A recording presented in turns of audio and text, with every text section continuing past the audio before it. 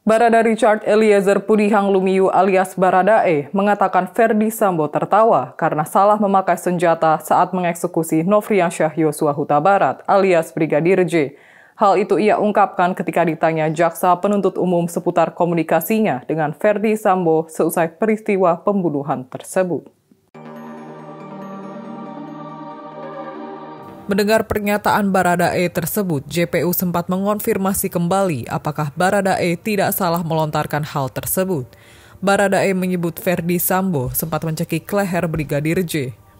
Baradae juga mengaku diminta Ferdi Sambo agar menodongkan pistolnya ke arah Brigadir J.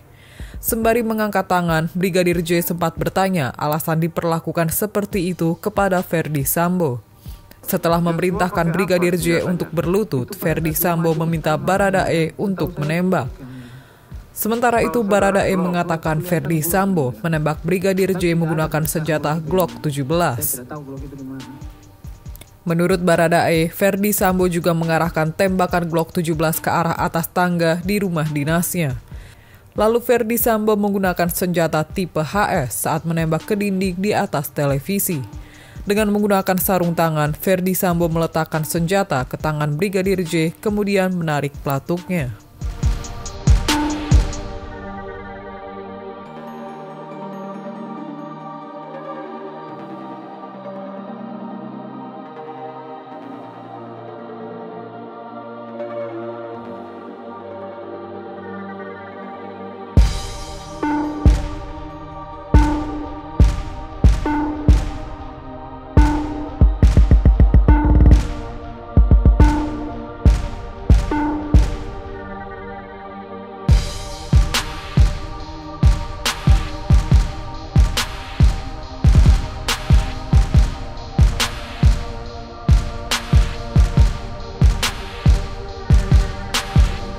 qualquer rapaz.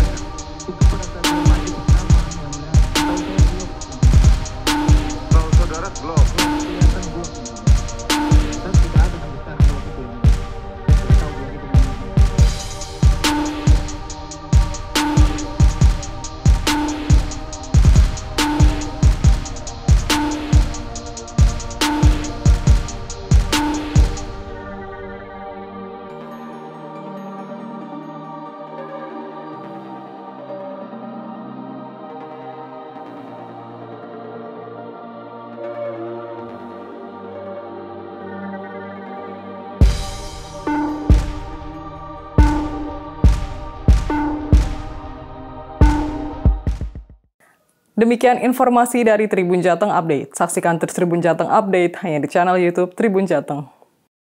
Jangan lupa follow, like, dan subscribe sosial media Tribun Jateng.